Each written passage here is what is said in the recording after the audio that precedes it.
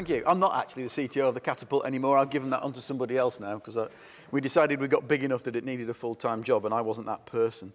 So what Steve, well, I can't remember if Steve asked me to talk about this or I said I'd talk about this, but this is thoughts on the future of UK manufacturing. And it doesn't really just need to be UK, it's thoughts on manufacturing in general.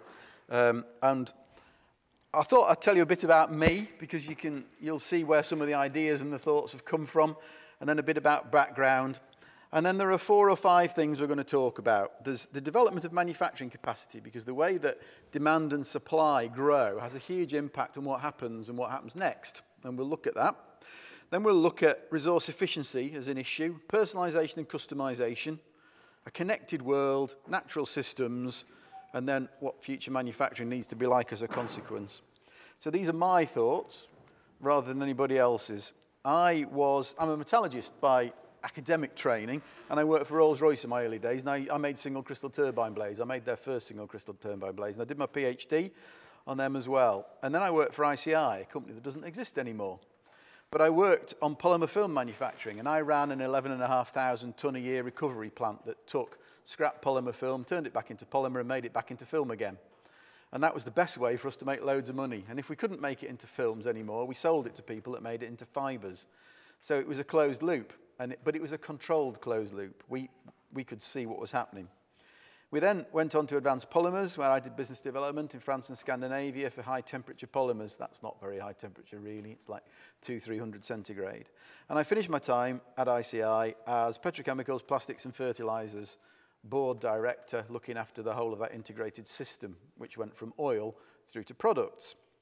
That company doesn't exist anymore, but nearly all of those assets still operate, owned by another company, and they're still in the UK, but none of those companies are British.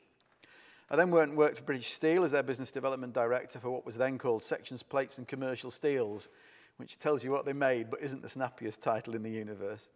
Uh, and then when Corus was formed, I was the construction director. Again, neither of those companies exist, but the assets are still being run by somebody. Um, I started the Centre for Process Innovation 10 years ago, and what we do is we help companies scale their next generation processes and get them ready for market. So we have about 280 people, we have about 100 million pounds worth of assets, and people come to us with an idea, usually that works in a teacup scale or something like that. And if it's in formulation, industrial biotechnology, printed electronics, or biological pharmaceuticals, then we will help them scale up their process. Um, we did allude to the fact that I was CTO of the Catapult as well. So when the High Value Manufacturing Catapult was formed, it needed somebody that could understand what everybody in the Catapult did to help them unite, I suppose. And I did that role for the last three, four years. So that's me. And you will see that some of that leads through into the things I think about and the way I think about them. So Innovate, UK currently have five strategic manufacturing themes, which are supposedly the ones that are guiding where we're going. IFM did this work for Innovate UK, although it was called the Technology Strategy Board then. And those five themes are resource efficiency, manufacturing systems, you can read what the, the bit underneath says, the integration of materials, the manufacturing processes and business models. And they underpin what Innovate UK try to do with their manufacturing landscape and their strategy and the cause that they fund in the UK. And they're all really about resource efficiency or industrial sustainability. And if you go down those routes and you start to deliver processes and products in that way, then you become significantly more efficient. But there's a history. And this is the beginning of that history. So this is Western European steel consumption since 1950. That's the red line. Those blue dots are the actual production by year Along the bottom, we've got wealth measured as GDP per person in, con in constant money. Now, you will see that when recessions happen, consumption falls, and it actually wealth falls backwards as well. And up the side, over the, on the far side, we've got consumption, and we've done it by person on this particular graph to give you a, a clue as to how it works. Um, economy of scale, as, grow, as, as consumption grows quite rapidly, becomes a big deal. So people want something and you just build more and more capacity to make it for them. Once they've made it, once they've got, everybody's got as much as they need, they don't need it quite so much. And they want something that's different from what everybody else has got. And that's where this personalization and customization idea happens. But often at that point, process reinvention occurs as well. And we'll talk a bit more about that in a second. So that's just a fitted curve through the data from 1950 It's a six-point polynomial for what it's worth. It isn't, hasn't actually got any scientific underpinning other than the fact it mathematically fits the data. And the other thing you notice from this is that the data points nearest to me show how deep the recession we've just been through was, because that's the worst recession we've had in the last 75 years. But my, many industries follow a curve like this, and I'll show you another one in a second. The thing that's tended to drive manufacturing once you get into this massive growth phase is that once you get into maturity, you go for economy of scale. And you believe as you go for economy of scale that capital per unit gives you more consistent quality. Well, it does. It makes average quality. It doesn't make anything that's great. It's just consistent. And you also get, get under the, uh, the illusion that larger production capacity gives higher profit because operating costs are lower. And generally speaking, that isn't true when you get into the process reinvention bit. But while the market's growing really quickly, that's great. So it's quite attractive just to build bigger and bigger things. But once maturity's gone, you can't build another great big plant because your demand's not growing. So you build it in another country that is growing, China often at the moment, uh, and then you, you, you bring stuff back. But once you've got to this flat bit at the top of the curve, the capacity is built on the basis of economy of scale struggles to demand what you want. So a Toyota factory, for instance, built to make loads of cars, makes them all the same to start with. But now we want cars that have different coloured roofs or different wheels or different loads of different things built into them. So there's a huge amount of effort put into making the plant more flexible so that it can give you what you want, so that it's different from next door's car. The problem with a big economy of scale plant that cannot reach that flexible point is that it becomes, it, it goes under, it gets under pressure so that its profits fall after a while and it goes into cost reduction strategies and eventually at the end of about 30 or 40 years it comes to the end of its life and it closes. So the point from this discussion is that the growth in customization and personalization combined with lower economic growth or flat consumption growth contributes to a drive for innovation. In the steel industry, the big thing that happened was the advent of the mini mill. Now, the mini mill came from a company called Nucor, who were a not very good builder of nuclear power stations, but happened to have a good way of making steel using scrap. And when they started using that plant, they completely changed the complexion of the steel industry. So locally arising scrap was used to supply a local market instead of getting iron ore and coal from the opposite side of the world and bringing it in. So it's a more sustainable system. The capital that you need to invest in order of magnitude lower, so your return comes much earlier, so you don't have to have something that's got to work for 20 or 30 years before you get your money back. You can do it in five or 10. Logistics costs are much lower because you're supplying a local market. Your batch is much smaller, so you can be more flexible in terms of what you're making. You can afford to build it. You can make product from scrap material that's exactly the same as something you made from virgin iron ore and coal and and that's particularly true of beams and rods and bars. The steel, the mini mill, in inverted commas, because they're not that mini, they're like 500,000 tons to a million tons, as, a, as, as opposed to 5 million tons, which is a normal steelwork size, is now 30% of steel production in the world. So that's 400 million tons a year, maybe a bit more now, probably nearer 500 million tons a year, is produced that route and it was changed by this small upstart company. The incumbents couldn't respond, and, it's, and they've been un, in, under quite significant pressure over a long period of time to make those changes that have allowed them to compete. But the overall system cost of producing steel using a mini mill is lower than it is using the conventional system. And that kind of approach, those kind of theories of local, local, lower capital, faster return, are the kinds of things that drive other industries to innovate as well. So you can split it into four or five different blocks, and we'll come back to them because this maturity and, and, uh, and the like is, is quite important. Because when you originally start with an industry, you're right over at the far left-hand side there, and it's a craft industry. People do it in their back gardens or their houses. As demand grows, consumption needs to follow that, and people build bigger and bigger plants. So you get this rapid growth phase. When you get into the maturity phase, the growth stops and you need to start worrying about doing something else. You become post-mature. And that takes you into a world of making different things in different ways, which we'll come to in a second. Before we do go on, though, there are only really four ways of making a process better. You can improve the existing steps you've got, so just become more efficient. You, you can make your value chain perform better with the existing assets. You can replace the rubbish steps of the asset to make the whole value chain more efficient, which is another quite common thing, but changes processes in those steps that just debottleneck systems really, which is the first thing for you to do. But the two that are important to the future of manufacturing are the ones that radically change the process to eliminate the step.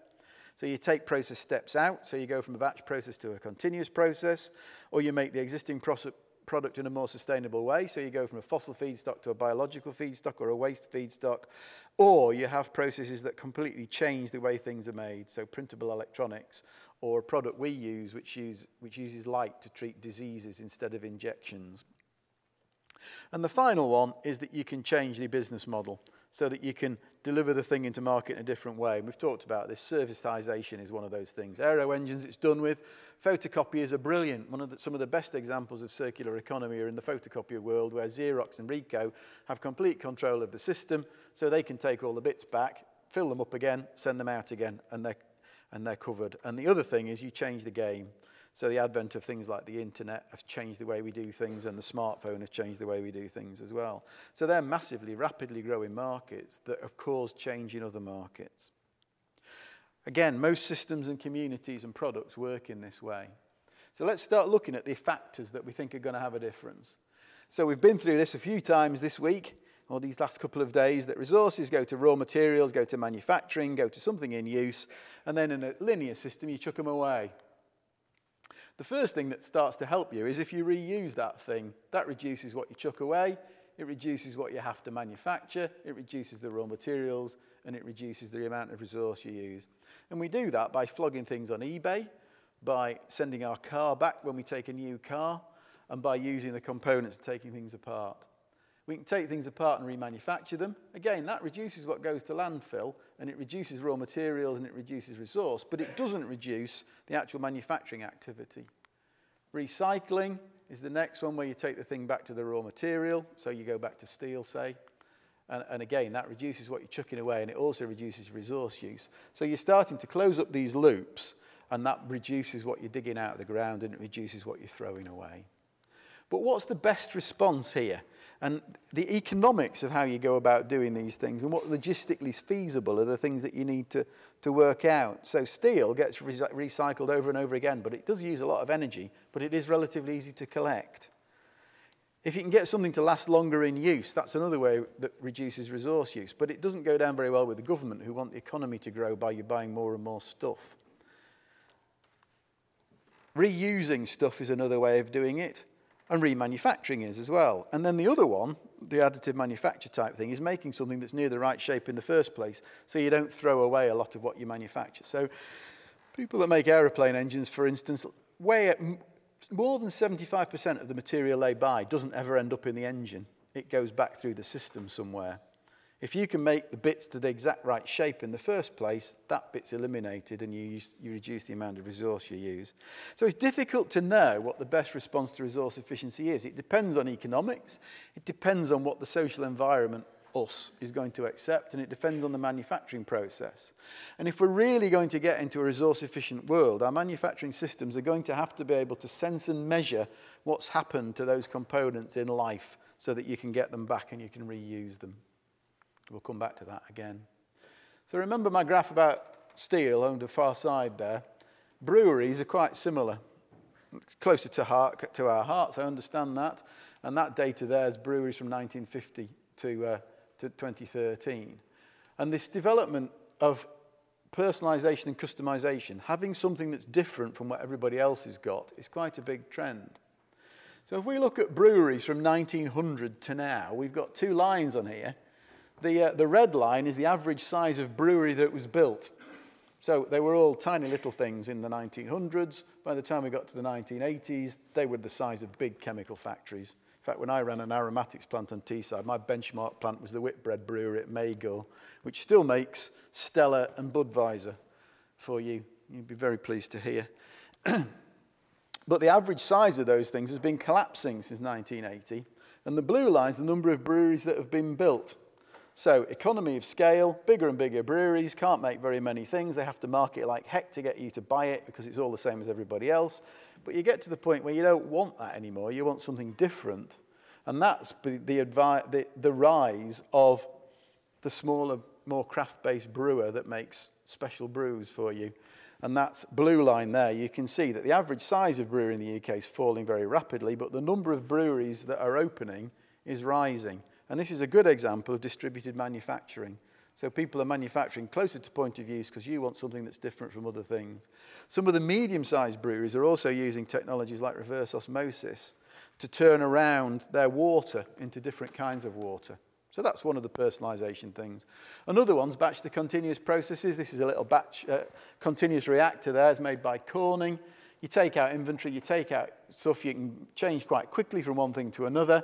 These reactors can take out 50% of your capital, increase your efficiency 60%, and reduce your emissions 60%. The technology is not difficult, but the adoption of it is very difficult. Pharmaceuticals is a classic example here where current processes are commoditized and what's actually required is things that are more relevant to you as an individual. So next generation costs have to come down, but quality has to go up and things have to be more customized and personalized. So they're about lower volumes and more flexible manufacturing because diagnostics allow you to decide exactly what medicine you need to have delivered to you.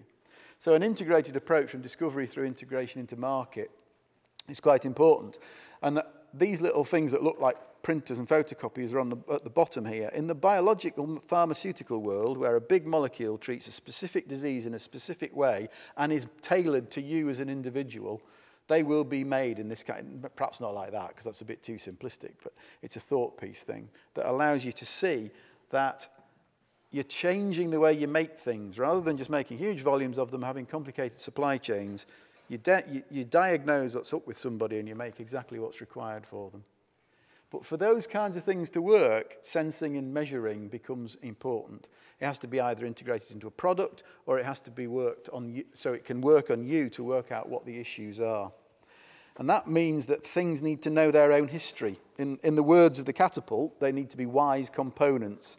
They need to know where they were manufactured, how they got where they were, how many times they've been reused, what's happened to them in their life while they've been used, because you've got to recertify the thing before you send it out. And the, you can only work in a completely non-controlled system if you know that kind of stuff systems need to be able to integrate together as well. So if I'm right about personalization, customization, and I'm right about brewing, following model following into other industries so that manufacturing becomes much more distributed, those plants need to be able to talk to one another. So some days they all make the same thing, and some days they all make different things. If you go down that route and you can do all of these things, then it enables you to be significantly more resource efficient. It enables you to meet this personalization and customization issue, but you have to be able to establish what system is the best one to work, how it's going to work, and how it's going to be able to bring social benefit. Very, very nearly finished, you'll be pleased to hear. In natural systems, you're trying to look at things that mimic um, the natural world more effectively. Now, this is an AD Little thing that was done for the House of Lords Science and Select, Science Select Committee report into the bioeconomy. And they said there are loads of different feedstocks and processes and products that can be made using bio routes. And this kind of summarizes what all of those are. Now, the majority of those processes don't really exist at the moment, but they do need to be flexible and they do need to be distributed. And you have to aspire to develop those processes that are going to mimic the natural world if you want to do it. Because a lot of these biological processes are slow, low concentration and happen at ambient temperature. And the only way it's going to work is if you can integrate bio stuff and fossil stuff together. And that means you've got to look at your problems differently. You've got to ensure that your policymakers and your leaders and your engineers understand the changes needed and that the change is possible. They've got to want to make it and work together in a collaborative way to make it happen. You've also got to be able to have a legislative and regulatory environment that allows you to do it. If you're making a pharmaceutical at point of use, you have to be able to be sure that that is, meets the standard that you would expect in a large current existing plant. So there's loads of opportunity here, but you've got to change the way you think and you've got to change the way that the partnerships work to deliver it.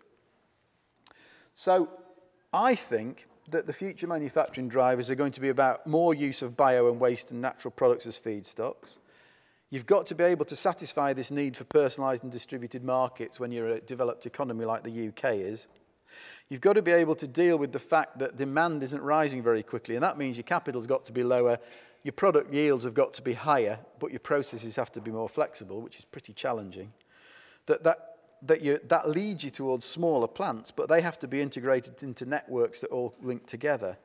And you have to know what's happened to the product during its manufacturing, in its use, and at the end of its life. And is my way of saying that this is a big data world. So we could do all of these things. We've talked about all of those things. But it's as much a social challenge as a technical one. We can solve nearly all the technical issues, but the, the way we adopt and the way we go about doing it is quite important. And my last slide and my final thoughts are that we're going to be ending up in a more resource efficient world where we're making more things that are near net shape. We're going to be leasing things, reusing things, looking at things that have got longer life in use, more remanufacturing, all of that kind of stuff. We're going to be being more personalized and customized right across the board. Flexible large plants, so changing the way your car factory works, but also replacing a lot of big plants with small plants that make things at point of use and change the logistics system that we're going to be in a much more connected world where sensing and measuring is provided to integrate with manufacturing and use and recovery. And your networks of manufacturing is going to be linked together in certain systems. And I also think that they're going to be much closer to biological systems in 20 years' time than they are now. Most of these things will happen. Whether it completely consumes all the manufacturing remains to be seen. But the UK needs to make sure that it's involved because we do an awful lot of really excellent research work in this area and we're still not very good at actually implementing it and making sure that we get the benefit from it as a nation.